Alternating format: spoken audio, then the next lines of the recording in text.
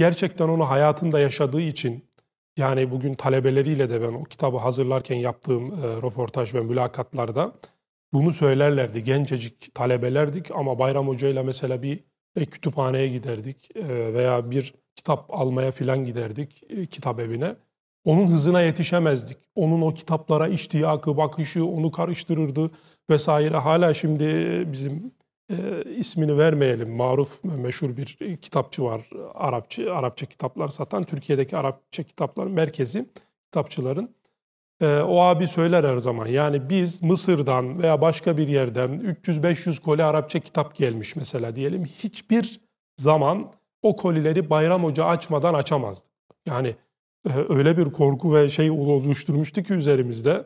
Yani o kitapları illa Bayram Hoca açacak. Kendi gelecek, eliyle açacak. Ondan sonra onları tek tek inceleyecek. Hele yani ondan önce bir koliyi açtın diyelim, bir kitap kaçtı, bir şey oldu. Bayram Hoca o kitabı alamadı, bizi perişan ederdi diyor yani. Ee, oradaki o heyecanlı iştiyakını biliyoruz.